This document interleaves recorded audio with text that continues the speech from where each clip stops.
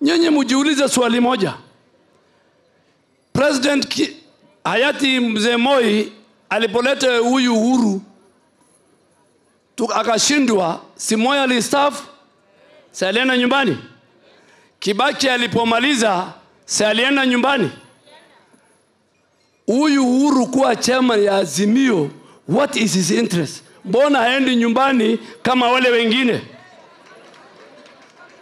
What is the interest? Na katika bunge tumempatia pension ya kutosha. Ask yourself one million question.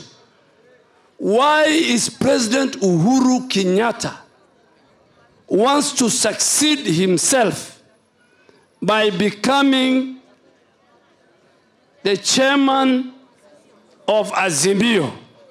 Na kati ya yeye na huyu mzee wa kitendawili ni nani rais wa Kenya? Ni nani ambaye Wakenya watachagua? Iwapo unapenda habari ninazokuletea, basi subscribe kwenye channel hii ili uwe unapata uhondo kila wakati. Shukran.